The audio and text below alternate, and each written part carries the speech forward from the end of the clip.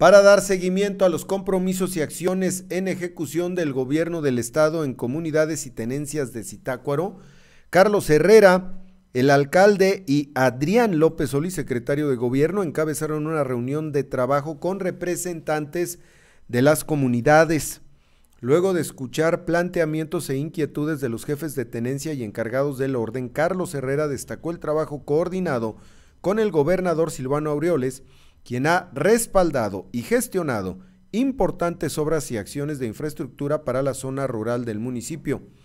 Indicó que la presencia del secretario de gobierno es una muestra del respaldo que ofrece el mandatario para el desarrollo de Zitácuaro.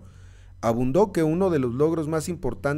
más importantes para tenencias y localidades es que se está impulsando un importante programa para la mejora carretera y comienza a verse reflejado ya en los accesos a algunas localidades y continuará el próximo 2017. Por su parte, los representantes de las demarcaciones agradecieron la apertura de los gobiernos municipal y estatal por escucharlos y tomar en cuenta sus necesidades. Asimismo señalaron que están seguros que habrá de notarse el desarrollo en sus comunidades durante esta administración, pues saben que existe compromiso tanto del alcalde como del gobernador.